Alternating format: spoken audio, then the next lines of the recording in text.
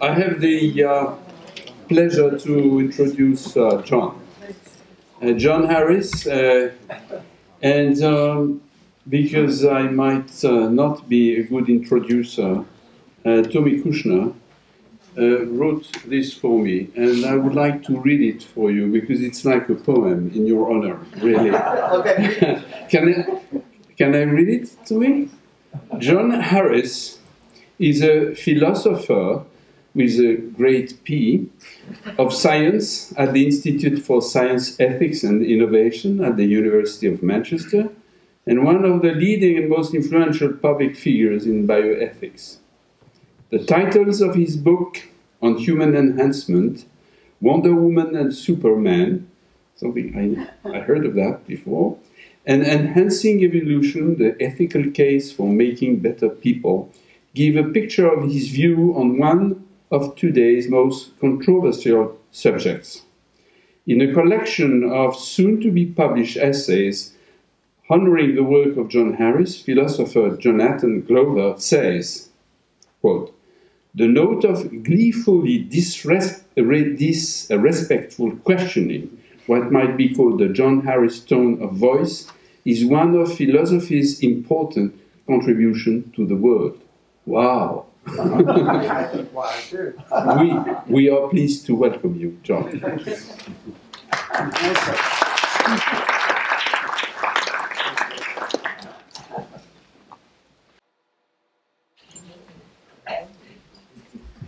Thank you very much. I can't possibly live up to that introduction, but it was a pleasure hearing it. Um, let me say that it's a great honour to be here and to have the opportunity of uh, talking to you all. Not only some colleagues that I've been with all day in a very interesting meeting, but some uh, fresh faces that uh, I haven't seen in Paris before, though you're probably familiar to one another. Now, I should explain that this, um, this is a, a, talk that I've only just written. Uh, I was finished it yesterday, and it arises from some thoughts that floated into my mind at a meeting in Geneva a few months ago. So it is, it is new. And I should give you uh, two health warnings. The usual health warning, which as a philosopher I always give to audiences that might contain some scientists or some clinicians, and that is that I use no visual aids that were not familiar to Plato. So, uh, no visual aids. I, I always also remind people, actually, Plato did recommend the use of one very important visual aid. It was a, a deep cave and a very large fire. But most of the venues in which I'm privileged to speak draw the line at uh, lighting a fire in the auditorium and digging a cave for me. So that's the first warning. The second um, warning that I, it's not true of all of my talks, there's a lot of poetry in this talk. So uh, I, should warn you about that. Now, the, the title will become the meaning of the title, Hot Baths and Cold Minds, Neuroscience, Mind Reading and Mind Misreading, will become clear as I continue. But really this talk is, is about mind reading, and I hope I'm going to explore with you a form of mind reading which I think has been ignored in the neuroscience literature thus far, much to its cost. So I hope it'll be at least a new angle on some things. So, the idea, the possibility of reading the mind from the outside, or indeed from the inside, and I'll come back to introspection in a minute, has exercised humanity from the very earliest times. Recent advances in neuroscience have offered some, I think, pretty remote prospects of improved access to the contents of the mind but a different branch of technology seems to me to offer the most promising and the most daunting prospect, both for mind reading and for mind misreading. And this paper will tell, this talk will tell some of that story. Now, our story of mind re reading begins for me with poetry. The science of the brain, neuroscience, is in part at least in the mind reading business. Neuroscience attempts, among many other things, to replace the eyes as windows on the soul. We start with poetry because historically, poets have been the neuroscientists who have best understood the ways in which the mind works. And here we are concerned with hot baths because one of the greatest of all poets, Homer, used the image of hot baths as a sort of surrogate for the human condition. A condition which not only appreciates hot baths, but notices their absence and understands the wider meaning of both these states. In a wonderful and unaccountably largely neglected essay on Homer's Iliad, Simone Weil analyzes Homer's portrayal of the moral realities and ironies of human life in a memorable passage. She starts with these famous lines from the Iliad, in which Andromache, Hector's wife, awaits Hector's return from battle. She ordered her bright haired maids in the palace to place on the fire a large tripod, preparing a hot bath for Hector, returning from battle. Foolish woman, already he lay far from hot baths, slain by the grey eyed Athena who guided Achilles' arm. And Simone Weil comments Far from hot baths he was indeed, poor man, and not he alone. Nearly all of human life, then and now, takes place far from hot baths. And she might have said, for it's surely consistent with the wistful regret of both Homer and of her own commentary, that nearly all of human life takes place far from comfort or from understanding. But this passion for understanding the hearts and minds of others even at the furthest extremity from hot baths, reminds us both of its attraction and its importance. Hector's last words as he lies dying, slain by the hand of Achilles, as far as is uttered as far as it is possible to be from hot baths, and they take up the theme of this talk. Hector of the flashing helmet spoke to him once more at the point of death. How well I know you, and can read your mind, he said. Soul searching is not identical with mind reading, nor is mind reading identical with, even if it were possible to achieve such a thing, a complete description of brain activity. An analogue here may be the relationship between genetics and epigenetics. Many neuroscientists and philosophers of neuroscience seem to me at least to be stuck in the era equivalent of the era of genetic essentialism, and oblivious to the era of epigenetics and what might be its cerebral equivalent. My suggestion is that desires, motives, intentions, and attitudes, and both external and first person access to these, stand to a map of the brain or a description of brain activity as understanding the behavior of a creature, uh, an organic creature, stands to the map of its genome. We know from contemporary epigenetics that the behavior of genes, gene expression, is influenced by the coding of the genes, but also by environmental factors, as well as, for example, being modulated by patterns of inhibitors and promoters outside the DNA that are set up within the cell and are, in some cases anyway, self perpetuating in the way that DNA is. The philosopher Ludwig Wittgenstein famously remarked in connection with establishing the reference of the object referred to in speech this remark If God had looked into our minds, he would not have been able to see there of whom we were speaking. End quote. Why wouldn't he? Why would not God, even a God, an all powerful God, if He looked into our minds, be able, be able to see there in our minds of whom we were speaking. So if I'm talking of Homer or of uh, Tommy or whoever, why would God not be able to see that fact, the, the object of my reference, from the contents of my mind? The answer is that it's not there. The answer, for example, to the question of is this act murder or is this act rape are not to be found in states of the brain.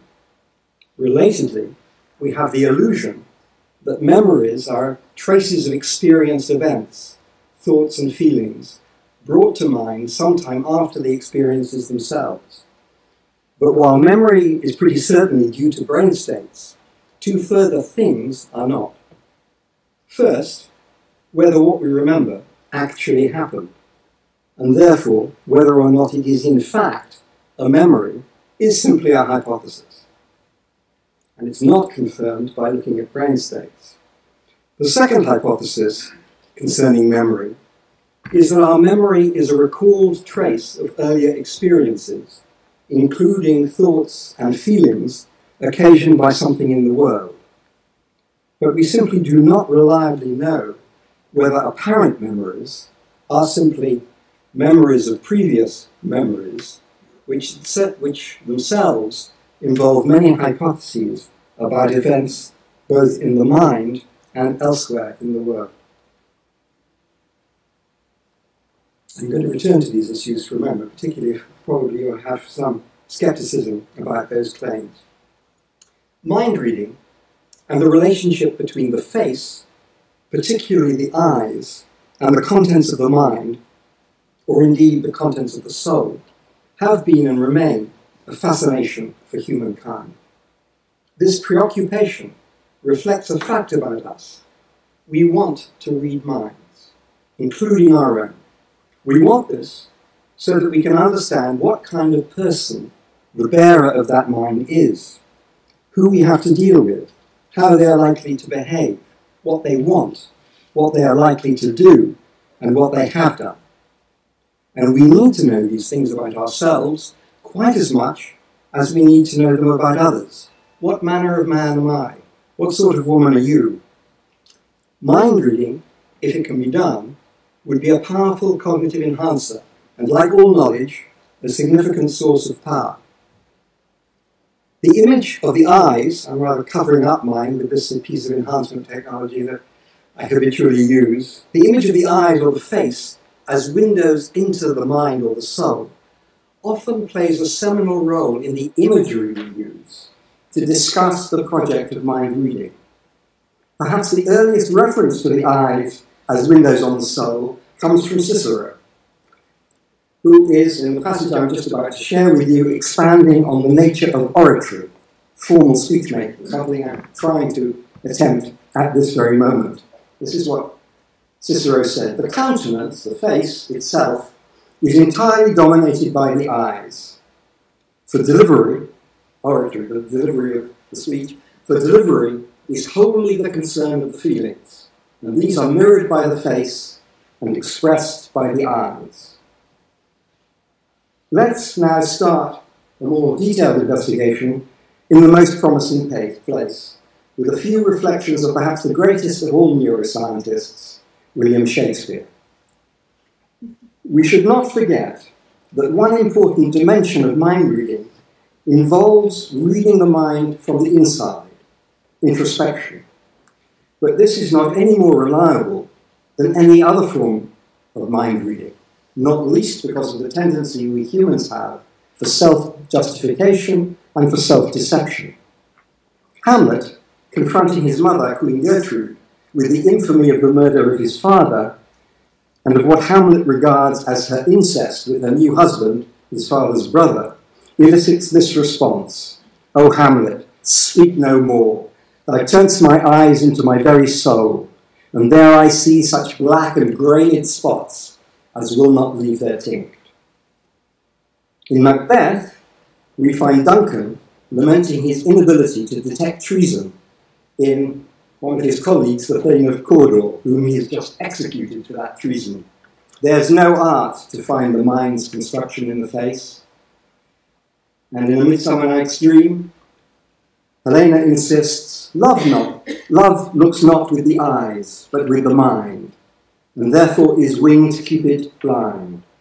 Helena is saying that love is not interested in superficialities like beauty, which are only skin deep, but in what lies behind. Love springs from imagined understanding, often level, leavened with a strong yeast of hope or optimism about the nature of what lies beneath. But she also insists that only the mind can deliver the required understanding of what others are like. And this it constructs from many sources, as we shall see. I have uh, Shakespeare was obsessed with mind reading. I'll give you one last uh, uh, quotation from Shakespeare. It's in Richard III that Shakespeare comes nearest to our present preoccupation. Richard, newly crowned but insecure, wants the Duke of Buckingham's approval of the murder of the little princes in the Tower, Edward V of England and Richard of Shrewsbury, the Duke of York. Edward being the legitimate heir to the crown worn at this moment by Richard of Gloucester.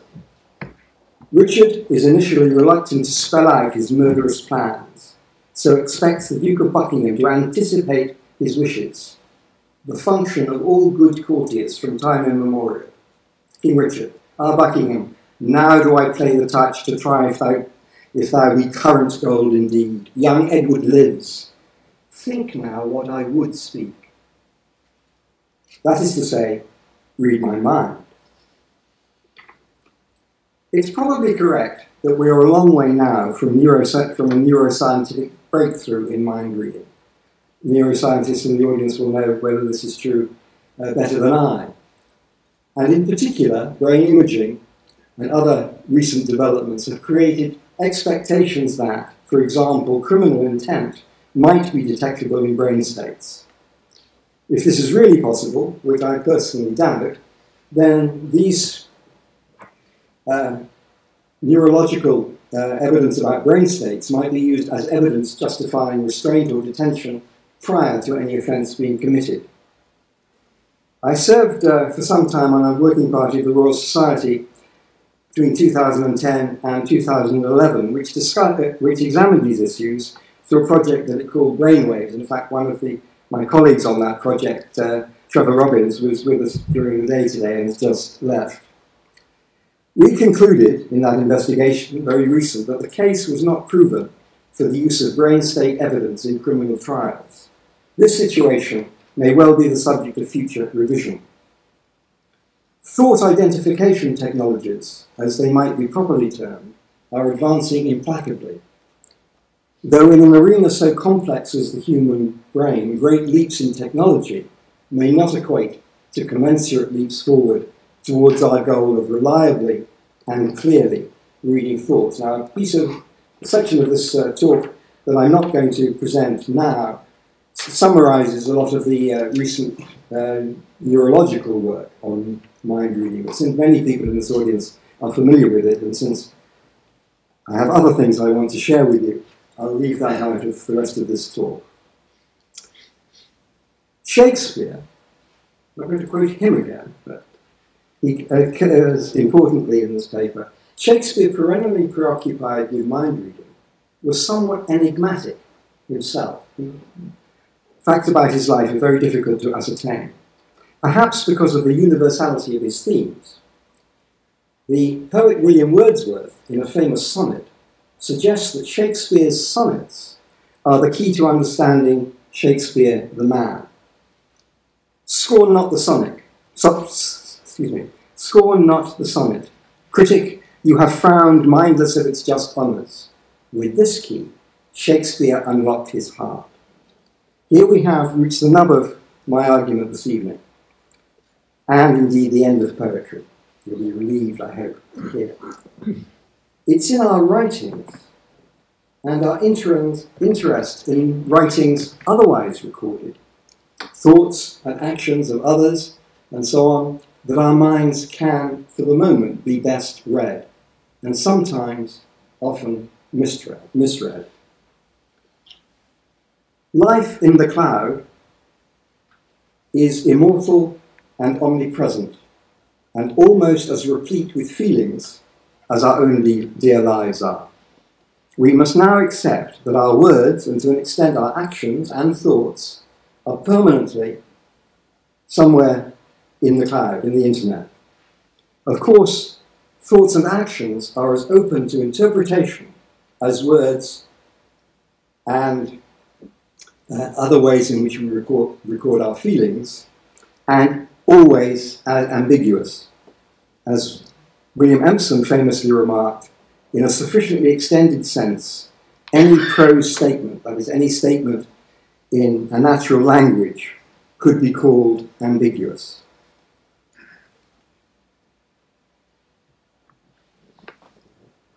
The cloud, the internet, is a game changing innovation with respect to mind reading, and indeed constitutes a very dangerous state of events.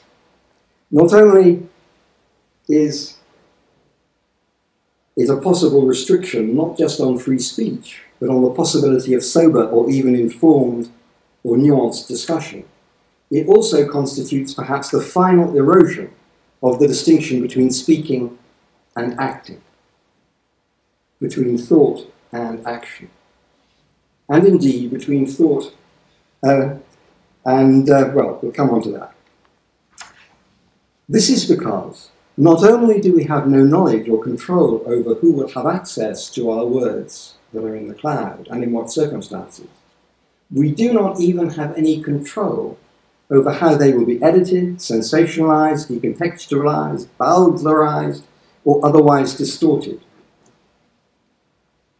Let me give you one example of both the radical expansion of access to our words and uh, indeed the dangers that accompany it. This is a story of a quotation. Let me just tell you the background. Do I have a, a roving mic? Can I walk around with this? Yes. Yes. Um, my university, probably like yours here in uh, Paris and other parts of the world, are interested in what we academics do for the money that they pay us. Well, that's natural enough. But one of the things they're interested in is our impact on the wider world. And indeed, most universities these days, certainly in America and in the UK, collect data on impact.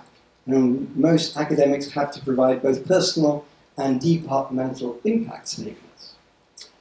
And to this end, to help us all with this endeavour, the university maintains a press, press office whose function is not only to advertise the university to the outside world, but to keep track of what we academics do and the impact that it has.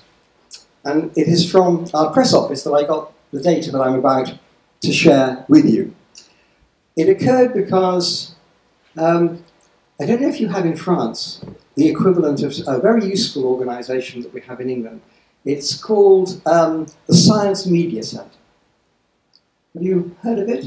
It is a charity. I recommend it to all scientists here in France. It is a charitable organisation set up with money from the Wellcome Trust and from various government departments as well, that is entirely independent. And its business is to represent science to society. So, and, and the purpose, to, to be frank, was to combat the bad image of science through sensationalism, sensationalist journalism, so-called Frankenstein science, and all the wicked things that you scientists get up to when we philosophers aren't looking at what you're doing. Now, the Science Media Centre maintains a panel of media-friendly scientists, more than 500, I believe, um, who are willing at a moment's notice to go on television or radio or to make a comment about a scientific story that breaks in the news. And I'm one of these so-called scientists. I'm not a scientist, as you know, most of you know, I'm a philosopher. Um, but I'm one of the people who they keep us to uh, on a leash, ready to speak on any story. And I'm, the Science Media Centre also publishes press releases. And they asked me for a quote on a story that concerned drug company, Novartis, as it happens. And I gave a quote, and they duly incorporated it into a press release and put it on the wires. What I said, I'll just share with you what I said, pretty innocuous. I said, companies like Novartis should not be in a position to block moves to more cost-effective treatments in order to maximize their profits. And the press release went on to say, said John Harris of the University of Manchester. Well, Reuters put this on the wires, and the report from our press office subsequently let me know that this report had that the, my quote in isolation had received 31, over 31 million page views and four and a half million unique visitors. That means that more than four and a half different individuals accessed this comment online. In addition to the hits on the web and visitors to the site, what I said, this little quote, this innocuous little quote, was reported in 278 separate national and local news outlets, from news agencies to local newspapers to television stations.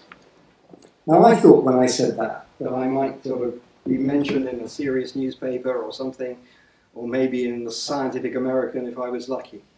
I had no idea that what I was saying would be reported, just that little remark, so widely.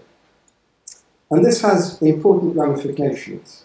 As the chairman of Google, Eric Schmidt, has remarked, the fact that there is no delete button on the internet forces public policy choices we had never imagined.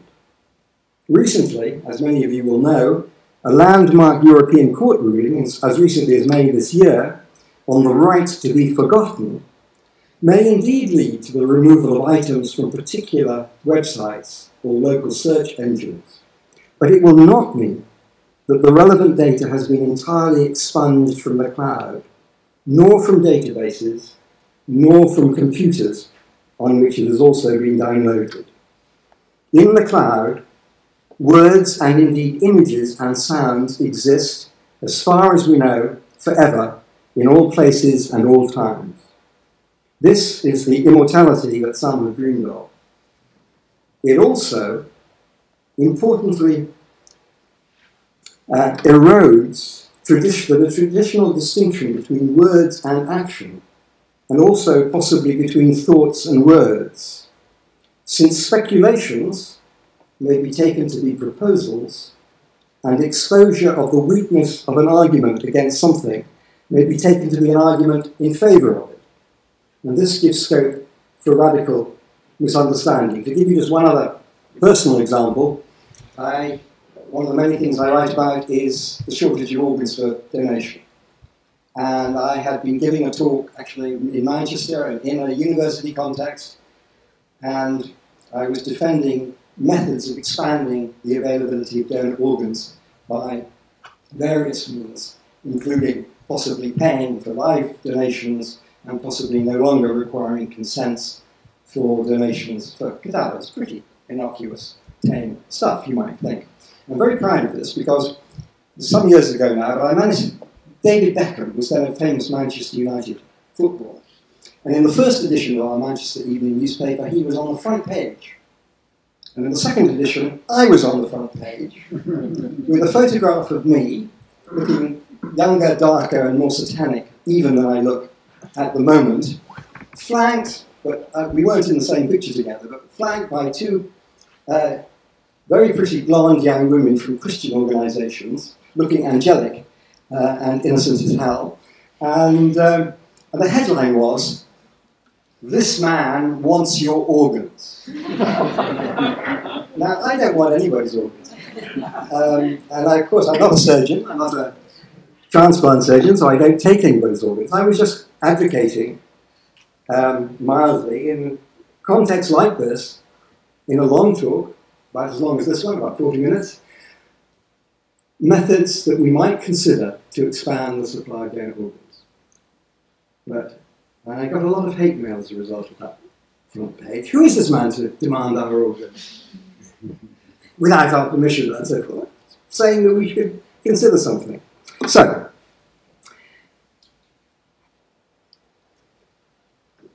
as Bruce Schneier uh, said recently in a presentation to the Royal Society, anything submitted or recorded online would be permanently in the cloud, accessible to anyone like himself, knowledgeable enough to access them. Moreover, as Schneier noted, all the research is being done on computers, and any computer can be hacked. Not most, any. Do I have time? Yes, I'll just give you some context for this um, this remark by Obama's um, data security expert. This was um, a, another Royal Society activity in England, which was a two day meeting on H5N1, the bird flu virus. And the meeting was called because, as many of you will know, two research groups, one in Erasmus University in Rotterdam and one in Wisconsin in the United States, had engineered the H5N1 virus into a new form so that it could be transmitted by an airborne route. And they had sent their papers, one respectively to Nature and the other to Science. And the editors of Nature and Science had persuaded the Royal Society to call this meeting to discuss whether the papers should be published. Because, of course, like all good scientific papers, they explain how the bioengineering was done. And therefore, a good bioterrorist with a bit of uh, biological information and a lab in his garage could repeat, repeat this work, as indeed scientific journals expect other scientists to do, to prove that it actually had been achieved. so the question we discussed for two days was, should this work be published in Nature and Science, respectively? It was an audience about twice as big as this, number of Nobel Prize winners, the editor of Science was there, the editor of Nature was there, the lead scientists on both the teams that had done the work was there, and we were discussing whether the paper should be published at all, whether they should be suppressed, or whether the naughty bits, the bits that explain how you do the bioengineering, should be redacted, is the word in English means blacked out or deleted, and then the paper is published with the broad conclusions. And we were all debating this very earnestly. There were a few, uh, a lot of distinguished scientists, as I say, a few odd people like me, philosophers who have an interest in these things. And about halfway through the second day, this guy, Bruce Schneier, who was, uh, who was introduced as President Obama's national uh, data security advisor, talked to us about how secure data actually was. And he made those remarks that I've just repeated, that nothing in the cloud, nothing digitized, nothing on a computer is secure. But he, well, he said, but we haven't published the papers yet, so there's no problem. And he looked at the two editors and he said, gentlemen, they were both men, still are, I think, both the editors of Science and the... Science is different, I think Phil Campbell's still editor of Nature, but I'm glad that Science has a woman editor now. Didn't at the time of this meeting. Um, so, gentlemen, is it possible, tell me, just tell me, how are papers submitted to you? Could it be that they're submitted online? Yes. Well, it's too late. They're already in the cloud. And I could find them in an hour, and other people could as well. So it's too late to think about redacting them. And then you look around the audience, Nobel Prize winners, editors of these distinguished journals, and he said, Ladies and gentlemen, you have made a big mistake. You look to me incredibly boring. That is your security. That is anyone's security. Make yourselves interesting, as you have done by holding this meeting. Tell the bioterrorists that there's something out there that might interest them, and the game is over. This is rather like the, you know, the, the analogy he used was a, a street of houses with burglar alarms on some of them, but not on others putting a burglar alarm on your house may deter some burglars, but you'll get a, if they think you've got really something worth having in there, you'll just get a better class of burglar who can bypass the alarm, probably do less damage, but they'll still get what's in your house. So, what has so far, I believe, been generally overlooked is that the existence of the cloud constitutes the most comprehensive gateway to the soul ever discovered, in principle available to all and permanently accessible. In short, whatever neuroscience manages to do in the next years, and I hope it does lots of interesting things and maybe invents other methods of mind reading, this particular method affords no effective defense, and all of us are exposed to it.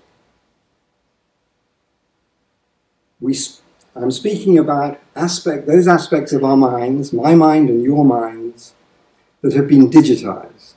That is, put into computer memory or onto the internet or into the cloud. There's no defense. Anything that has ever been on a computer, let alone been emailed or stored in the cloud, can be read and downloaded if somebody has enough of a motive to do that. Now think about what data most of us have consigned to the cloud. Just think about it. Most of us now write on digitizing kit. We write on computers, tablets, phones. Most of us all write and receive emails, tweets, and so on. Many of us have a web presence, a Facebook or Twitter account, or a website. Many also keep their diaries and appointments in electronic media. Moreover, the cloud contains a record of the websites we have visited, of the things we have ordered online. Many of us, I do, fill in our tax returns online. We pay fine, uh, traffic fines and other uh, fines online. We visit online medical services. We look up medical conditions online. We order drugs online. We order services, many of which may be unavailable or even illegal in our own countries. The list is vast. Much of this will contain the substance of what we believe on many matters. Certainly, diaries do. What we are minded to do, or what we have done. If it's a diary again, they'll contain a record of what we've done, what we consider doing, including elements of our desires and fantasies, interests, what we know and don't know, our preoccupations, our activities, patterns of behavior, of purchasing, of expenditure, what are the objects of our gaze, and more or less reliable inferences can be drawn about what sort of gaze that is. Some aspects of this are starting to arouse interest. People using the internet are becoming increasingly aware of the dangers of images and things they say on Facebook and on other websites, perhaps aided, ironically, by the proliferation of news feeds and novel forms of communication provided by the cloud. The, ri- the rise of highly visible cyber stalking applications such as Creepy. Did any of you know about Creepy? Ah, I didn't either. One of my very bright PhD students knows about Creepy. This aggregates geolocation data attached to various tweets, updates, photos, and the like from any chosen poster and generates a map of the subject's whereabouts. Wonderful for people who want to stalk other people.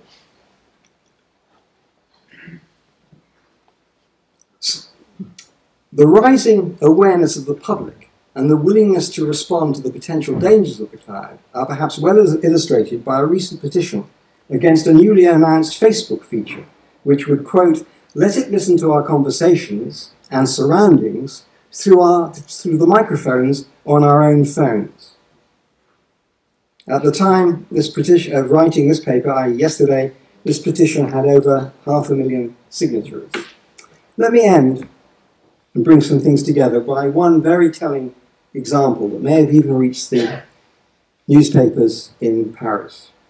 A recent news story is, I think, particularly telling. On the 21st of March this year, the BBC reported that, I quote, a woman who threw acid in the face of a friend while wearing a veil as a disguise has been jailed for 12 years.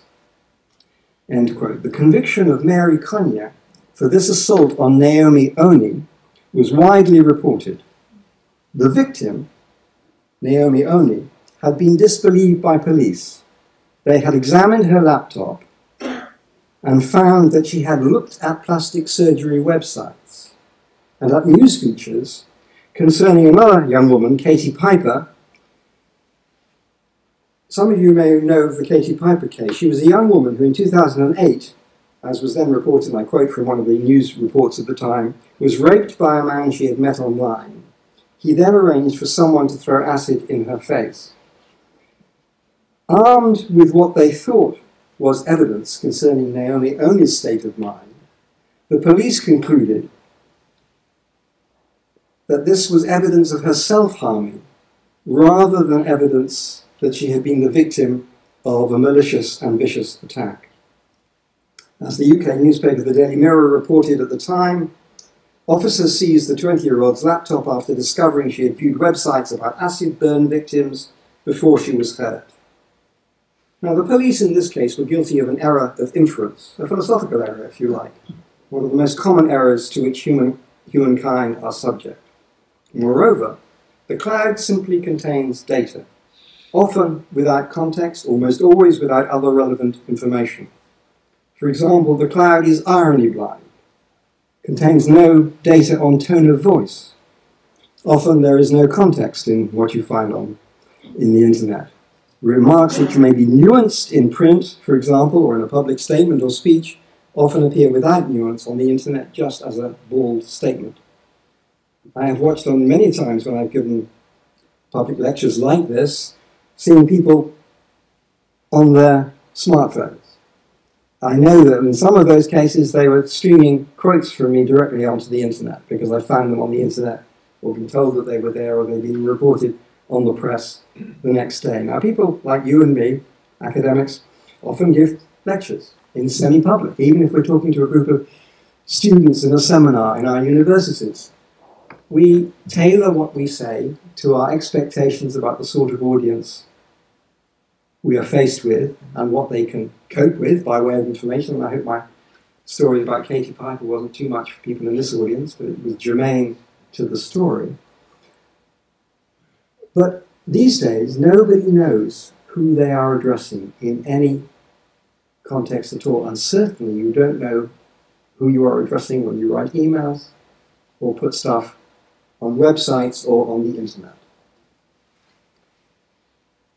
This has, I think, been a game changer.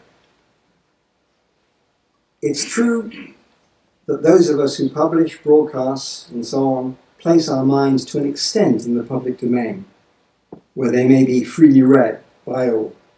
But most of us do so, or do so potentially, without realizing that this is in fact what we've done. Without realizing that what we say in one context may be quoted in another. More significant by far, all people who use devices that record or transmit digitally are almost certainly placing themselves if not on public record, at least in a universally and permanently accessible public domain. This is a domain in which increasingly inferences will be drawn, conservatively or recklessly, or anything in between, about what we feel, think, and believe, wish for, intend, desire, or fear. Some of the inferences drawn about us will be reasonable and accurate and for the foreseeable future, these will constitute the best available windows on the soul. So I think if we are concerned about mind reading, it is to the internet that we should turn for the expression of that concern. Neuroscientists in this room may disagree, but I think it'll be a long time before neuroscience is in a position to offer anything like the access to the mind and the soul of citizens as is afforded by the internet. I want to end with one philosophical remark. In the history of political theory, at least, uh, well, in fact, since the Greeks, but certainly since the time of the great English utilitarian philosopher John Stuart Mill, there has been a traditional distinction between, not only between thought and action, um, but between words and action, words being more innocuous, less dangerous than actions. And Mill, in a famous passage in his book on liberty, also makes a remark about the limits of free speech. And this is what he says. I'm paraphrasing, I haven't brought, unlike the Shakespeare quotes, I haven't brought the quotes with me. But what he says is that freedom of speech means that you can speak your mind. It means, for example, that you can say, corn chandlers, that is, people who deal in the stuff that bread is made of, corn chandlers, chandler being an older English word for seller. Corn chandlers are starvers of the poor. The prices of bread means that the poor can't afford to buy bread. You can say, because it's fair comment and freedom of speech, that corn chandlers are thieves. That is within the ambit of your right of free speech. But you cannot say it to an armed mob outside a Corn Chandler's house, because that would be an incitement to murder. And that distinction has been pretty much accepted in liberal democracies as marking a distinction between legitimate and illegitimate use of public speech. We are now no longer in that position. You never know which audience you are addressing when you say corn chandlers are thieves. You can't tell whether the mob you're addressing are at that moment assembled outside a corn chandler's house or whether they're sitting at home having dinner, eating plenty of bread. We don't know anymore whom we are, whom we're talking about. And so we can't employ the uh, common sense distinction advocated by John Stuart Mill of when our speaking out about an issue is legitimate exercise of free speech and fair comment, and when it constitutes incitement to some mischief, the word that John Stuart Mill used. And that is also very dangerous. It's dangerous because it means that the what constitutes, we can't decide whether we want to operate on the world stage. We don't know whether we're going to or not. We can't decide whether we are going to make a public statement or a private statement anymore. Many of my colleagues at the university, I, li I like talking to the press because I get a much bigger, bigger audience than even publishing in the Cambridge Quarterly of Health Care Ethics, which, as you all know, is almost the biggest and certainly the most highly educated audience you could possibly have for bioethics. But some of my colleagues uh, don't want to leave it there. Others of us, I also write in the public press, I also uh, speak on television and radio quite a lot because I don't know what your circulation is, but uh, if, I, if I speak on drive time radio, I get five million listeners. And that's a decision I make. I, I choose to be a, a sort of public intellectual, public academic.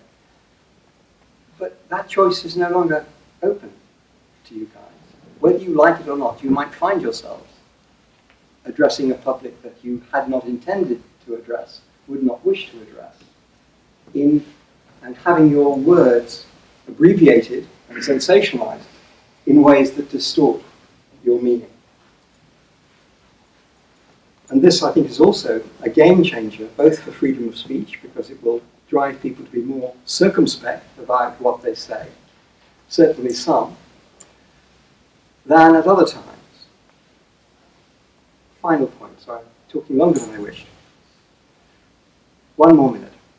There is a, a convention in English and American speaking countries which is called the Chatham House Rules, which you can have meetings under the Chatham House Rules, in which what goes on in the meeting can be reported, but not attributed to any of the individuals present in the meeting. It's a way of telling people what public, uh, semi-public committees are doing, what they're thinking about, but without, but doing so in a way that nobody, everybody can feel in the meeting free to speak their mind, knowing that word, particular words or attitudes will not be attributed to them.